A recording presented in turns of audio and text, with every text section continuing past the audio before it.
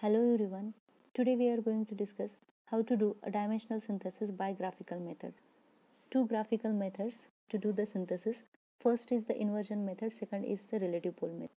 So firstly let's do the synthesis of mechanism using inversion method for 4 bar mechanism. So here we have the statement synthesize a 4 bar mechanism by a method of inversion. The data is given length of fixed link is 100 mm so let's just write down length of fixed link I'm going to put the symbol D for fixed link is equal to 100 mm then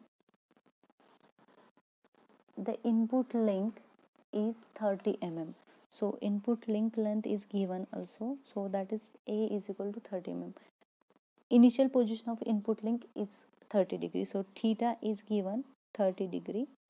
Next is second position of input link from initial position 30 and 60 so theta 1 is given then theta 1 2 is equal to 30 degree and theta 1 3 is equal to 60 degree. So from initial position the next position is at 30 degree and the next position is also from initial position at 60 degree.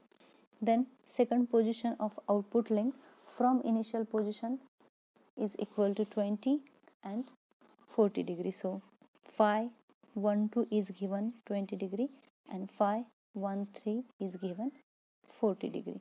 And what they ask determine the length of coupler link that is B and C output link also the initial position of output link. So let's just start how to draw it.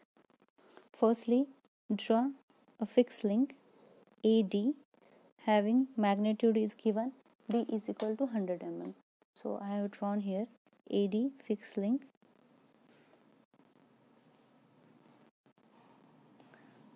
With magnitude 100 now again link AB initial angle is given equal to 30 so that uh, at 30 degree let's just draw AB having length magnitude of 30 mm. So here we have theta 1 30 degree and this is the link A1 B1 let's just put the initial position symbol 1 now what they say is that the input link second position is from the initial position.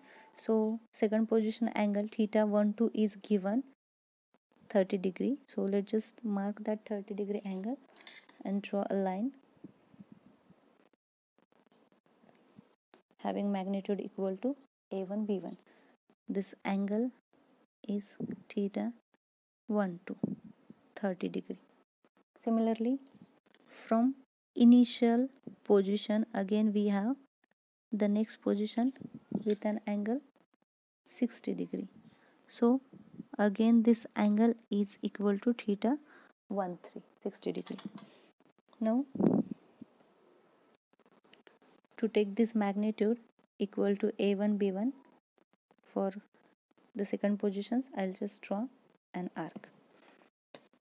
Just extend this line and you get the second position. So here we get b2 and here we have b3 now join this b1 b2 and b3 with d1 with fixed link. So here with only one line we have join. So this is line for b2 and here we join b3 with d1 now from this d b2 let's just take an angle equal to theta sorry phi 1 3 and draw a line. 512 now from this d1 b3 let's just take angle equal to phi 1 3 and draw a line. Just try arbitrary line. This angle is equal to phi 1 3 okay.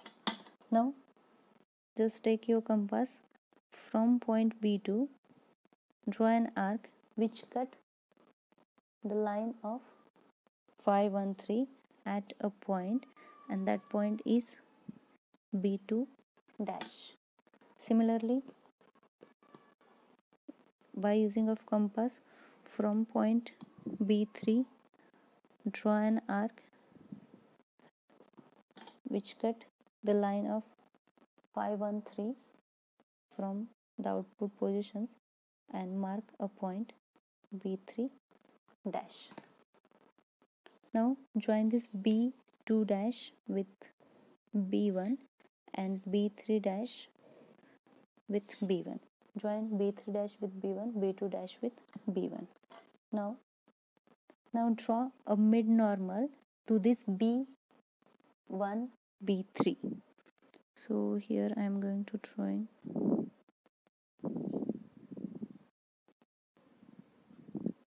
mid normal from this point similarly from this b1 b3 just draw a mid normal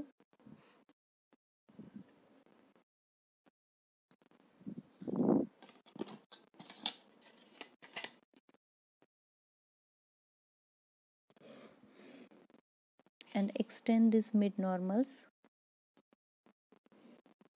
they will intersect with each other at one point and that point is the point C1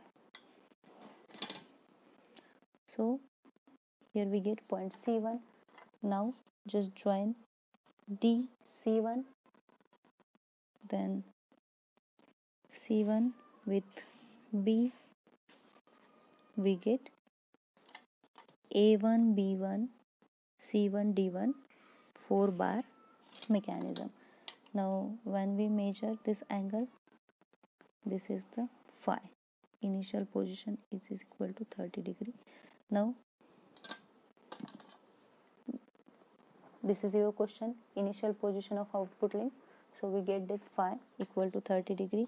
Now let's just measure this b1 c1 it is equal to 12 centimeter.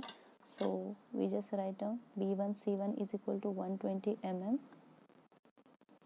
And output link d1 c1 is equal to 50 mm so c1 d1 is equal to 50 mm phi is equal to 30 degree.